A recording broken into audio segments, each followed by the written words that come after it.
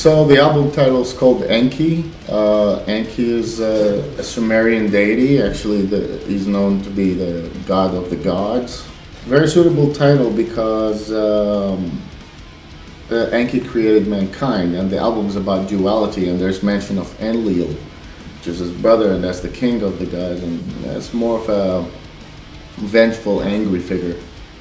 And uh, once again, we use the metaphoric uh, reference for these deities, not per se very literal, and also played around with the concept of the Anunnaki and the uh, the the, the, the uh, fallen ones that they've come to Earth, advanced civilizations for whatever reason.